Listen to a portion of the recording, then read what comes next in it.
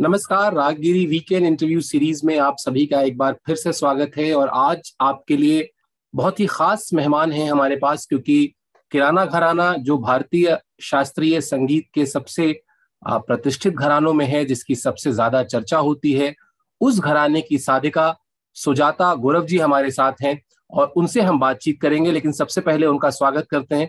सुजाता जी बहुत बहुत स्वागत है आपका। नमस्कार। तो पहला सवाल तो निश्चित तौर पर हम आपके बचपन से और आपकी संगीत की तालीम से करेंगे, लेकिन उससे पहले किराना घराने की जो गायकी है, उससे जुड़ना और उस घराने का जो मान सम्मान है भारतीय शास्त्रीय संगीत में, उसको लेकर आपकी क्या राय है?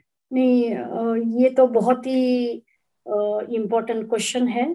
अच्छा सवाल पूछा आपने, क्योंकि किराना घराना ये परंपरा जो है अब्दुल करीम खान साहब जी और वहीद खान जी और फिर मेरे जो घर में मेरे पिताजी जो हैं जो थे वो पंडित संगमेश्वर गुरव जी तो वो डायरेक्टली उनके डिसाइपल थे अब पंडित अब्दुल करीम खान साहब जी के। तो किराना घराने के बारे में बहुत सारे बातें होती थी जब मैं छोटी थी। और मेरे भैया पंडित कैवल कुमार जी भी हैं, वो भी इससे जुड़े हुए हैं मेरे साथ। और हम सब बातें करते रहते हैं किराना घराना का वैशिष्ट क्या है what is the importance of Kirana Gharana and all and my father use to teach me when I was very young at I think मैं पीयूसी टू में थी, शायद एटीन ईयर्स की, तब मैं, मैंने उनसे तालीम ली है। और बहुत कुछ मायने रखती है मेरे लिए कि I am connected to Kirana Gharana. बिल्कुल और किराना घराने की एक बहुत बड़ी पहचान पंडित भीमसेन जोशी भी हैं जो देश का सर्वोच्च नागरिक सम्मान भारत रत्न उससे सम्मानित हुए ख्याल गायकी का बहुत बड़ा नाम रहे। लेकिन अब बचपन की तरफ़ चलते हैं और आपको जैसा आपने अभी ज़िक्र भी किया कि आपको आपके पिताजी से संगीत की तालीम मिली। लेकिन वो दिन कैसे थे? कैसा कैसा माहौल होता था घर में? क्योंकि किराना घराने के इतने आ, सीनियर डिसाइपल का घर में पिता के तौर पर होना और गुरु के तौर पर भी होना कितना खास था आपके लिए? कितना अलग था आपका बचपन कुछ मायनों में संगीत के मायने में? जी जी जी। नहीं बहुत ही अच्छा था और it was very memorable and पिताजी अभी तो आपने ज़िक्र किया कि भारत रत्न पंडित भीमसेन जोशी जी का तो उनसे वो मिल जाते थे हमेशा। दो, दोनों बहुत ही क्लोज फ्रेंड्स थे और उन उन्होंने जिस तरह सीखा जिस तरह कठिनाइयाँ उठाई हैं वो सब हमें बताते थे मेरे पिताजी। और सुर से जुड़े रहना हमेशा सुर से जुड़े रहना और लयकारी लयकारी जो है वो सांप की तरह जाता है। वो इसी तरह हमेशा not we have to keep ourselves attached to, to, to the uh, and uh, he has to tell us that uh, whenever the gandhar is there madhyam is there we have to see the degree of the Madhyam and Gandhar, whatever it is, Komal or Tivr, Ma, etc. He used to teach us very nicely because he used to teach here also in the uh, University of Karnataka University. He was the lecturer there. And um, even my brother also and my myself, we both used to sit in front of him and he used to teach us. All the ragas और वो बताते थे कि इतनी जल्दी मैं दूसरे राग पर नहीं जाऊँगा। ये हमारा ये एक प्रिंसिपल है कि एक राग को आपको पाँच महीने तक गाना है। ये उनका एक प्रिंसिपल था। बहुत ही स्ट्रिक्ट थे वो।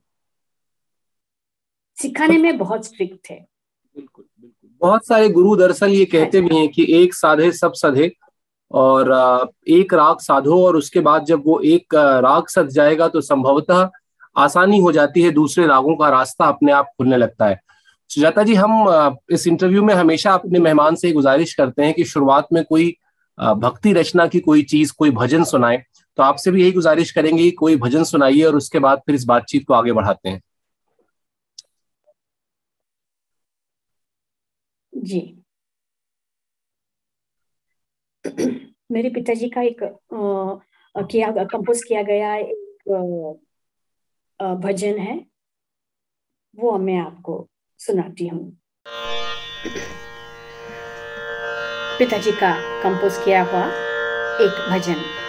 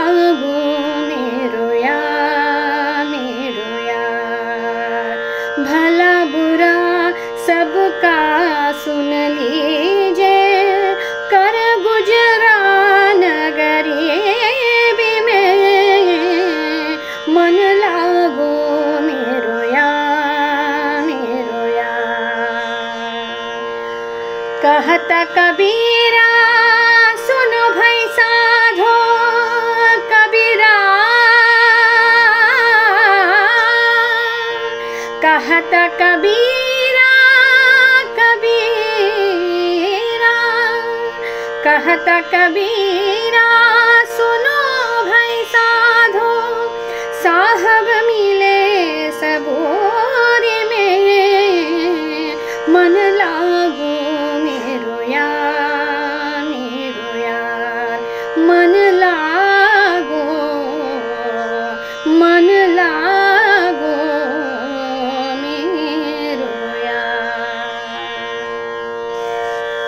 क्या बात है? और इस भजन के बाद अब हम सुजाता जी दूसरे हिस्से में जाते हैं। जब जब आप और कैवल्य जी जो इस देश के बहुत जाने माने वो भी शास्त्रीय गायक हैं, जब दोनों लोग की तालीम हो रही थी और पिताजी की देखरेख में हो रही थी, तब क्या ये तय था कि हाँ भविष्य में शास्त्रीय संगीत का ही साधक बनना है? या उस वक्त सिर्फ़ इसलिए सीख रहे थे कि नहीं, पिताजी चाहते हैं सीख लें, इसलिए सीख लिया जाए? हाँ बिल्कुल सही। पहले तो मैं नहीं चाहती थी कि मैं एक गायक बनूं लेकिन मुझे इंटरेस्ट था जर्नलिज्म में। और जब वो भैया अंदर बैठते थे तो इतने ज़ोर से डांट पड़ती थी। अगर जो अगर कोई गलती की स्वर लगाने में तो बहुत उठ के जब वो सोते थे तो भी वो उठ कर आके वो आ, आ, स्वर का डिग्री हमें बता देते थे। भैया को बता देते थे। तो मुझे थोड़ा सा डर लगता था कि मुझे भी डांट पड़ेगी, अब मैं नहीं सीखूँगी पिताजी के पास ऐसा। ये तो था मेरा। लेकिन बाद में माँ जी का कहना था कि नहीं, तुम्हें कुछ और नहीं करना है। घर का जो है, वही तुम्हें आगे बढ़ाना है। तो मैंने एमए का डिग्री लिया मैंने। तो वहाँ से शुरू हो गई मेरी क्लासिकल की यात्रा। और पिताजी तो थे ही वो मुझे सिखाते थे। और लेकिन मैं बहुत छोटी थी ना लेकिन बहुत साल तक मैं उनसे नहीं सीख पाई। बस दो और तीन साल तक मैंने सीखा और बाद में मैं अभी पंडित कैवल कुमार जी से मैंने सीखा। लेकिन बहुत कुछ बातें ऐसे होती थी कि आ, कैसे बेसिक फाउंडेशन तो पिताजी ने ही दिया। Very strong foundation of swar laya and how to present the raga in front of the audience मैं मैं ये भी जानना चाहूँगा कि जब इतने प्रतिष्ठित संगीत कलाकार पिता के तौर पर हो तो निश्चित तौर पर घर पे तमाम ऐसे कलाकारों का आना जाना रहता है, जिनका लोग सिर्फ़ नाम सुन पाते हैं। आप लोगों ने उनको देखा होगा, बचपन में उनको सुना होगा, और कभी उनको कुछ ना कुछ सुनाया भी होगा। तो वो जो माहौल था घर का, वो कैसा था आपके? बहुत ही अच्छा था। बहुत सारे लोग आते थे मेरे पिताजी से मिलने के लिए। यहाँ तो सभी जब वो गाने के लिए बैठते थे तो वो आँखें बंद करके गाते थे तो उनको भान ही नहीं रहता था कि कौन आया, कौन बैठा। तो दस पंद्रह लोग तो रोज ही ऐसे बैठ जाते थे रियाज के। आजकल तो ऐसा नहीं होता। देखिए कितना डिफरेंस है आजकल के लोगों में और वहाँ तब जब मैं छोटी थी। मैं तो और वो कभी कभी वो आँख खोलकर देखते भी नहीं थे लेकिन वो जो आते थे वो बैठ कर सुनकर चले जाते थे। वो, वो, वो राग के लिए आते थे। सुबह का राग चल पड़ा तो सुबह का राग जो जिनको पसंद है वो जल्दी जल्दी आ जाते थे। हॉल हमारा बड़ा था और सब लोग बैठ जाते थे रियाज सुनने के लिए। बहुत से लोग आते थे और पंडित कुमार गंधर्व जी भी आए थे मेरे घर में। मैं जब जोटी थी। तो उनका भी मेरे, आशीर्वाद मुझे मिल गया है। बहुत खुश हुए वो। Before he passed away five months back about that that year he visited our house कहा कि मुझे आपसे मिलना है।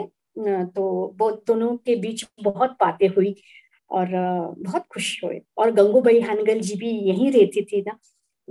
तो वो भी हमारे किराने घराने की ही हैं। तो उनका भी मैंने आशीर्वाद लिया है। बहुत सारे लोगों का आशीर्वाद लिया है।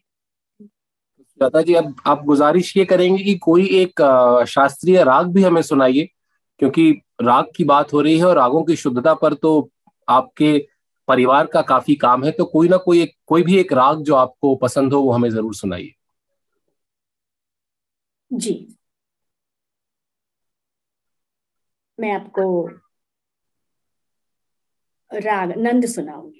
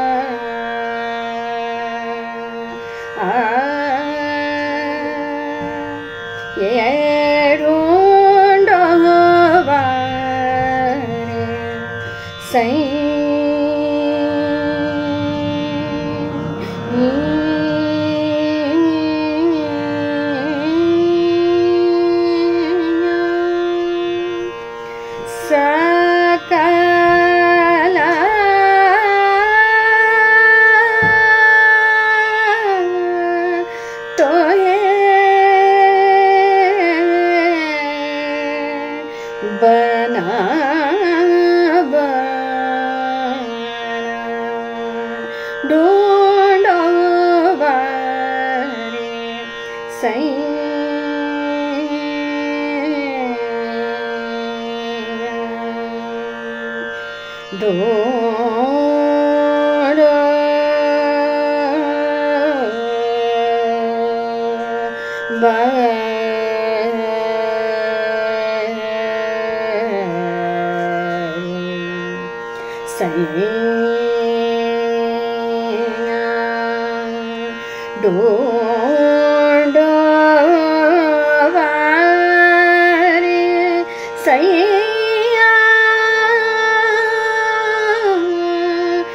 ah,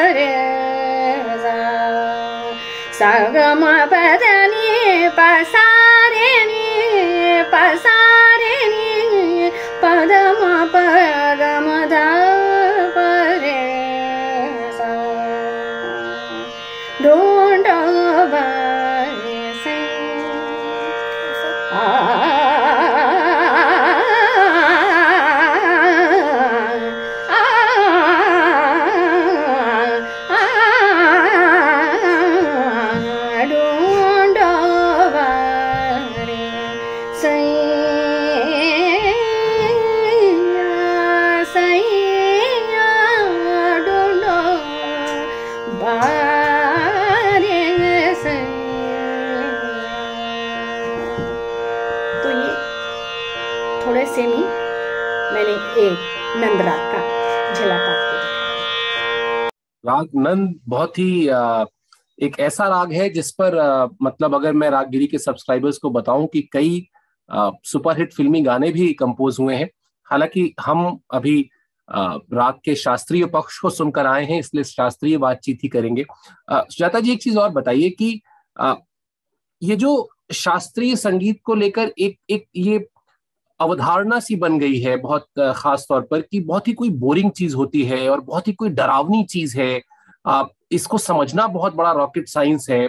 बच्चों में खास तौर पर अगर मैं आपसे ये जानना चाहूँ कि बच्चों में अगर हमको इसको इनकलकेट करना है, बच्चों में अगर इसको और अवेयर करना है तो आपके हिसाब से क्या कुछ करना चाहिए जिससे बच्चे इस, हमारा जो ये ग्रेट आर्ट फॉर्म है उससे जुड़ेंगे? जी वेरी नाइस क्वेश्चन इस पर तो हमने भी विचार किया है कि आजकल के ऑडियंस को कैसे इंप्रेशन में लाया गया।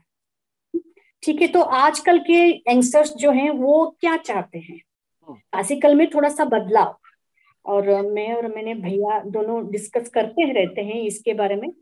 तो the first thing is we have to maintain our laya जो हम लय कहते हैं ख्याल का जो लय है वो अगर ज़्यादा हमने धीमी रखा स्लोली रखा तो वो बोर हो जाएगा। बोरिंग पड़ जाएगा वो। जो भी राग है, लेकिन वो उस पर भी निर्भर करता है कि राग का नेचर कैसा है। अभी बिलास का निटोड़ी का नेचर अलग है, नंद का नेचर अलग है। और उटपटान राग हम जब लेते हैं तो वो खुश हो जाते हैं आजकल के बच्चे जो होते हैं। तो उसी में थोड़ा सा बदलाव लेके there are many methods and methods also to change the systematic in the rag in the systematic way. Uh, and that we have uh, we both are doing it. And uh, अभी जो अभी उसका आमिर खान जी पहले जो जब वो गाते तो, तो बहुत ही ख्याल में रखते थे। तो थोड़ा सा बदलाव आके आके आके अब तो फिर भीमसेन जोशी जी ने भी बहुत से बदलाव लाए वो उन्होंने भी बदलाव किया और फास्ट ताने लेने के लिए स्टार्ट किया। और तान तान का पैटर्न तो इतना ज़बरदस्त था उनका कि वो ओंकार से ही निकलता था। और हमारे पिताजी भी यही कहते थे, जो भी लेना है, ओंकार से ही ले लो। ओंकार का महत्व बहुत ही इंपॉर्टेंट है किराना घराने में। ओम, ओ एंड आ, आकार आकार एंड ओ, ओंकार, दोनों मिलाकर हम तान को लेते हैं। And uh, I have done it in uh, Rag Shankara also and in Nand also. And there are many rags uh, in YouTube also, and upcoming uh, Purya Dhanashri is also there now, and uh, where we can see the patterns of Kirana Gharana styles of dance and all. तो इस तरह तो nature भी उतरता है और जो हमारा नेचर है ना वो भी राग में उतरता है कि अब भीमसेन जी श्री जी जो थे वो कमांडिंग थे तो इसलिए उनका राग हमेशा उनका राग कमांडिंग रहा है। तो अगर वो बहुत ही शांत स्वरूप के हैं अब किम कुमार गंधर्व जी का देखिए उनका एक स्टाइल अलग है। छोटे छोटे मुर्गियाँ जो लेते थे वो स्लोली लेते थे वो उनका एक भाव ही अलग था क्योंकि उनका बिहेवियर और उनका नेचर अलग था। तो each and every human being has their own nature and that nature will reflect the raga that is there अच्छा आपने आपके बारे में जब मैं पढ़ रहा था और मैंने पाया कि देश के लगभग जितने भी प्रतिष्ठित संगीत समारोह हैं सब में आपकी हाजिरी लग चुकी है। लेकिन मैं उस कार्यक्रम के बारे में जानना चाहूँगा उस एक दो कार्यक्रम जो आपके लिए बहुत खास रहे हो जब आपको जिस दिन ये लगा हो किसी ने बहुत आ, किसी बड़े कलाकार ने आके तारीफ़ की हो या किसी ऑडियंस में किसी ने उठ के कहा हो कि उसने ऐसा गायन नहीं सुना दिल के करीब जो एक दो कार्यक्रम रहे हों, उसकी यादें साझा कीजिए। जी, यहाँ तो हम्पी उत्सव गवर्नमेंट का फ़ंक्शन होता है और वहाँ मैंने रागेश्वरी गाया था और लगातार तीन बरस तक मैंने वहाँ परफॉर्म की है और उन्होंने वो स्पेशल सीरीज़ करके भी मुझे भेजा था। वो मैं कैसे भूल सकती हूँ? बहुत ही बढ़िया परफॉर्मेंस रहा था वहाँ। और लोगों ने भी बहुत आके ऐसा रागेश देव तो हमने कभी नहीं सुना ऐसे। बताया था मुझे। आई स्टिल रिमेम्बर दैट ऐसे तो तानसेन समारोह में भी मैंने मालकोंस गाया है। बहुत से लोगों ने मालकोंस को भी अप्रिशिएट किया। वो भी तो यादगार ही है। एक गुजारिश मैं आपसे और एक एक गुजारिश मैं आपसे और करूँगा और वो गुजारिश है सेमी क्लासिकल में क्योंकि सेमी क्लासिकल में बहुत सारी ऐसी शैलियाँ हैं। ठुमरी हो चैती हो टप्पा हो दादरा हो जो कलाकार गाते हैं तो मैं आपसे भी यही गुजारिश करूँगा कि कुछ सेमी क्लासिकल में भी हमें कुछ सुनाइए। जी ठुमरी में। जी बिल्कुल। जी जी जी। सेमी क्लासिकल मिश्र ठुमरी आपके सामने। ला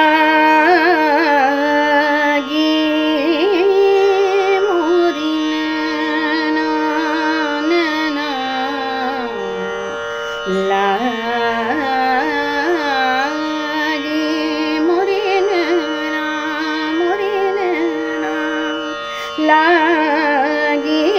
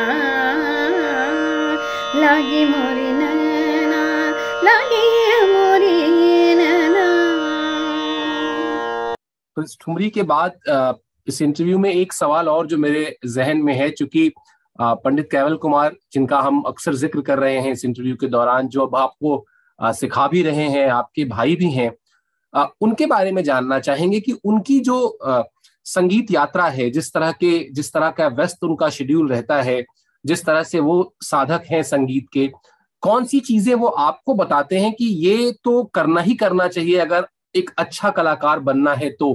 कौन सी दो तीन चीज़ें ऐसी उन्होंने बताई हैं जो मुझे लगता है कि आपके ज़रिए से हम जो जानेंगे तो बहुत सारे संगीत के जो छात्र हैं उनका भी उसमें लाभ होगा। शब्दों के बारे में वो बहुत कुछ बताते हैं मेरे भैया, और वॉइस कल्चर के बारे में।